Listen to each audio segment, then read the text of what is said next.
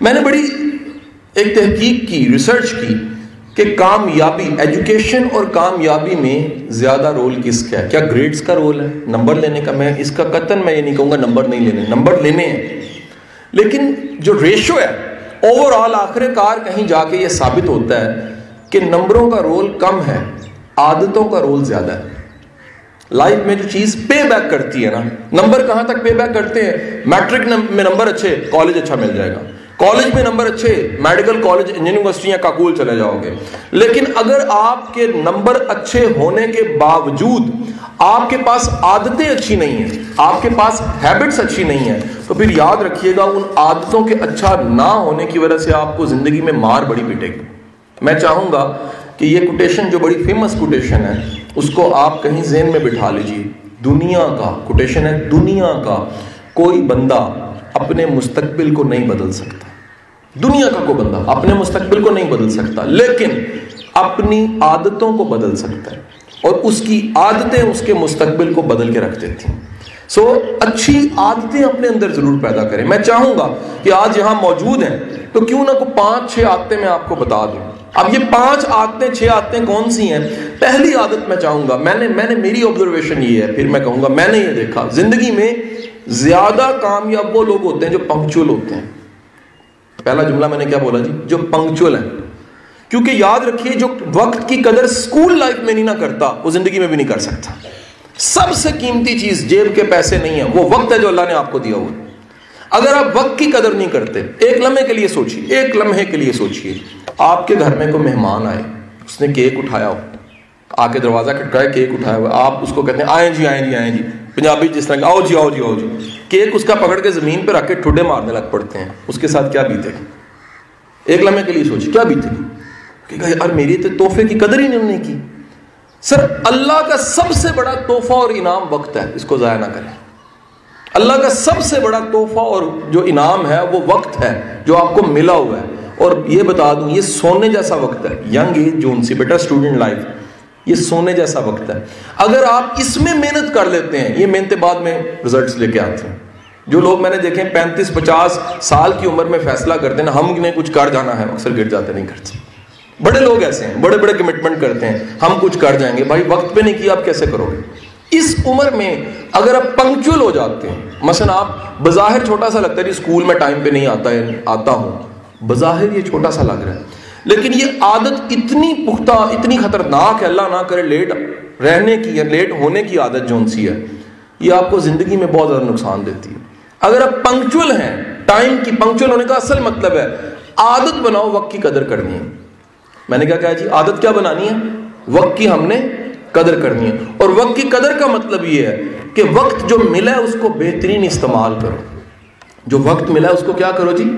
بہترین استعمال کرو۔ دوسری عادت میں آپ کو بتا دیتا ہوں جی۔ دوسری عادت جو سی ہے، وہ ہے صاف ستھرا رہنے کی۔ دیکھیے، میں پھر کہوں گا کہ منڈی گجرات کیونکہ دور دور نہیں ہے، میں اس بیلٹ کو جانتا ہوں۔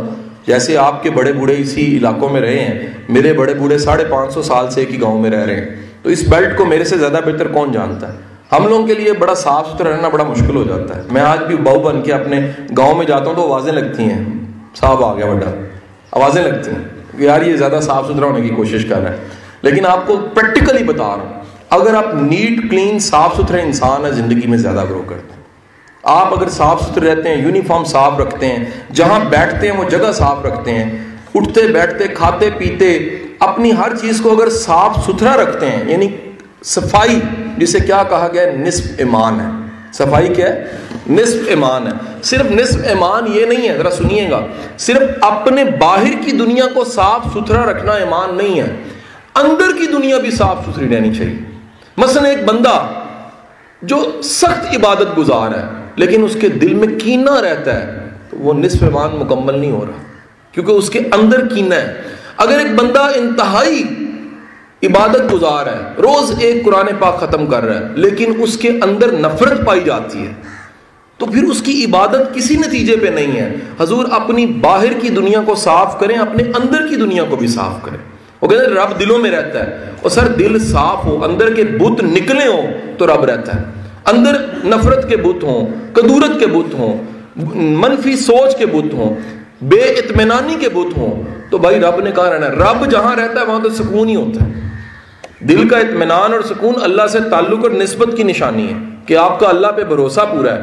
وہ اشفاق احمد صاحب ہمیں کہا کرتے تھے کہ میری بلی کو مجھ پہ زیادہ یقین ہے۔ اور میں شرم سے کہتا ہوں، اشفاق صاحب کہتے ہیں کہ میری بلی کو مجھ پہ پورا یقین ہے، میں دودھ ڈال دوں گا، میں پال لوں گا۔ بندے کو اللہ پہ بھروسہ ہی کوئی نہیں ہوتا۔ بندے کو اللہ پہ یقین ہی کوئی نہیں ہوتا۔ سو آپ نے اپنے اندر ایک عادت پیدا کرنی صاف ستھرا رہنے کی۔ صاف ستھرا رہنا، باہر بھی صاف ستھرا، اندر دل سے بھی صاف ستھرا۔ ٹھیک ہے جی؟ آپ کو ایک نشانی بتا دیتا ہوں۔ اگر اندر سے صاف ستھرا رہنے کی عادت آپ کو ہے نا، تو نیند بڑے سکون کی آتی ہے۔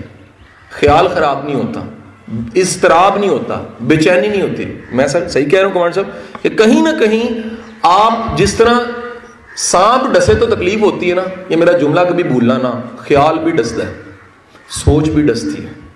منفی سوچ زیادہ ڈستی ہے، مثبت سوچ ڈستی کوئی نہیں۔ سو باہر کی صفائی کرنی ہے اندر کی صفائی بھی کرنی ہے۔ تیسری عادت یاد رکھیے گا، جس میں میں آج تک قائم دائم ہوں۔ میں اللہ کا جب بھی شکر ادا کرتا ہوں، بے شمار چیزیں شکر کے لیے، رزق دیا سیت دی، کپڑے، چیزیں، آنکھیں سیت سب کچھ۔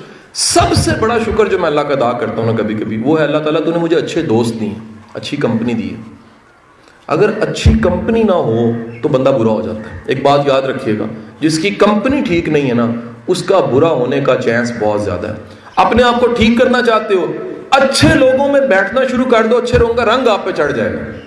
اچھے لوگوں میں اٹھو، بیٹھو، میں، میری کتابیں بھی ہیں، میں بولتا بھی ہوں، میں اسپیکر بھی ہوں۔ آپ جانتے ہیں اس کی وجہ کیا ہے؟ مجھے ماحول اچھا مل گیا۔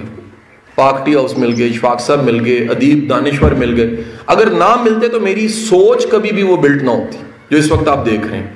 سو اچھی کمپنی بیٹا رکھو اپنی، بری کمپنی سے وائٹ کرو۔ حضرت علی کرم اللہ وجہ کا کوٹیشن ہے، بڑا فیمس نیج البلاغا کا۔ آپ کہتے ہیں ایسا شخص جس سے دنیا اور آخرت دونوں کا کوئی فائدہ نہیں، وہ دشمن ہے۔ بھائی، جس سے نہ دنیا بنتی ہے، نہ آخرت بہتر ہوتی ہے، وہ دشمن ہے، وہ دوست نہیں ہو سکتا۔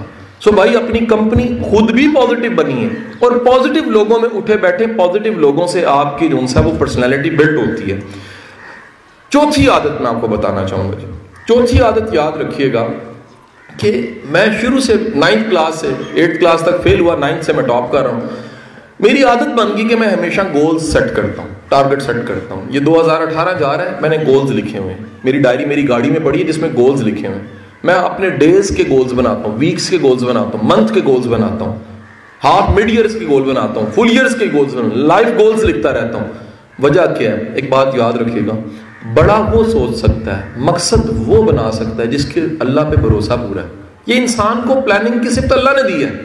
یہ کوئی انسانی کوئی ذہنی خلفشار نہیں ہے۔ پلاننگ اور اسٹریٹجی جو سی ہے، وہ اگر پلاننگ اور اسٹریٹجی کو ایز اے سبجیکٹ کمانڈنٹ صاحب پڑھا جائے، تو یہ پلاننگ اور اسٹریٹجی اللہ کا انعام ہے کہ اللہ نے دی ہے۔ چونٹی بھی پلاننگ کرتی ہے۔ آپ کو کبھی لگے نا کہ یار وہ نہیں کرتی۔ وہ بھی سیزن آؤٹ ہوتا ہے تو دانے کٹھے کرتی ہے۔ کہتی تھی اگلا مشکل وقت ہے اس کے لیے تھوڑی سی پلاننگ تو مجھے کرنی ہے۔ یعنی جبلت میں اس کے ڈال دیا۔ حالانکہ اس کا بھروسہ تو بہت ہونا چاہیے تھا۔ بھروسہ مکمل، لیکن اسٹریٹجی پوری ہونی چاہیے۔ احتیاط اپنی پوری ہونی چاہیے۔ ہمیں تو توکل بھی کیا سکھایا گیا۔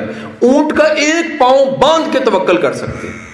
یعنی آپ اپنا کام پورا کر کے پھر اللہ پہ توکل کر سکتے ہیں۔ آپ پڑھے ہی نہ، کتابیں کھولے ہی نہ، اور توکل کرتے رہیں گے اللہ میں ٹاپ کر جاؤں گا، کیسے کریں گے؟ فیل ہو جائیں گے۔ سو گولز آپ نے سیٹ کریں۔ اسٹڈی کے گولز کہ میرے ایک ہفتے کی پلاننگ کیا ہے؟ ایک ہفتے میں میں نے کتنا تیار کرنا ہے؟ ریویژن کیسے کرنی ہے؟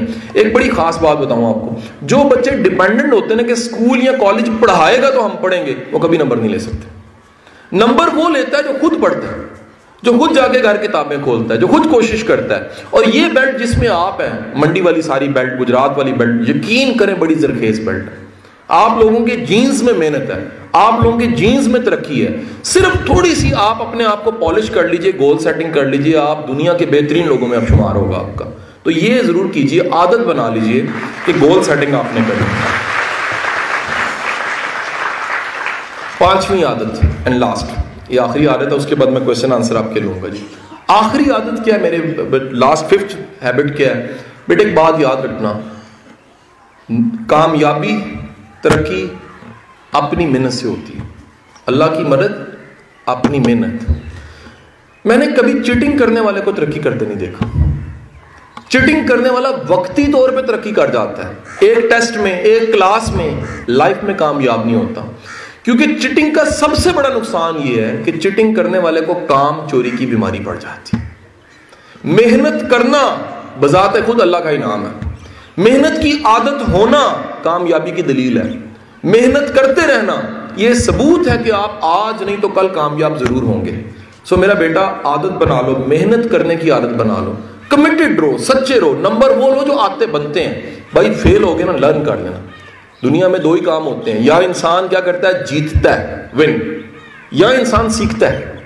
جملہ میں نے کیا بولا ہے؟ یا انسان جیتتا ہے، یا انسان فیل نہیں ہوتا، سیکھتا ہے۔ غلطی کر کے سیکھو۔ ٹیسٹ میں نمبر کم آئے لے کے بیٹھ جو ٹیسٹ کوڈ دیکھو، میرے نمبر کم کیوں آئے ہیں؟ میں نے غلطی کیا کی ہے؟ آئندہ وہ غلطی نہیں کرنی۔ جو مسٹیک میری پہلے ہوگی، وہ مسٹیک آئندہ نہیں ہونی چاہیے۔ ہمیشہ اسٹریٹجی بنایا کرو۔ ایک سال کا رزلٹ آیا، پچھلے سال کی ساری مسٹیکس لکھ لو۔ میں نے کیا کیا غلطی کی؟ میں نے ہینڈ رائٹنگ میری کیسی سی اسکیچنگ کیسی تھی؟ پریزنٹیشن کوشچن میں نے کون سے اٹمپٹ کیے؟ سلیکشن آف کوشچنس کون سی تھی؟ سب چیزوں کی لسٹ بنائیے۔ اور پھر دیکھیے نئے سال کی اسٹریٹجی کیا ہے۔ یعنی جو اپنی پچھلی غلطیوں کو ٹھیک نہیں کرتا اور نئے سال کی کمنگ آنے والے وقت کی اسٹریٹجی طے نہیں کرتا۔ میں سمجھوں گا وہ کبھی کامیاب نہیں ہو سکتا۔ پچھلی غلطی سے سیکھیں، نئی اسٹریٹجی بنائیں۔ اللہ آپ کو بہت سی کامیابی دے گا۔ پاکستان زندہ باد۔